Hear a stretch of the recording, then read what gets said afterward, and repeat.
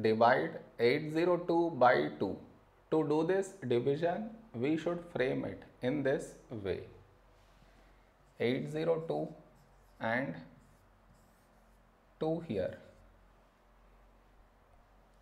This is your step 1. Next.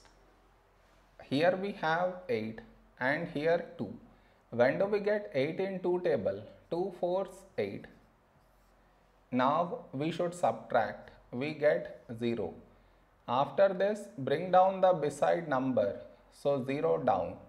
Now here we have 0 and here 2. 0 is smaller than 2. So we should bring down the second number.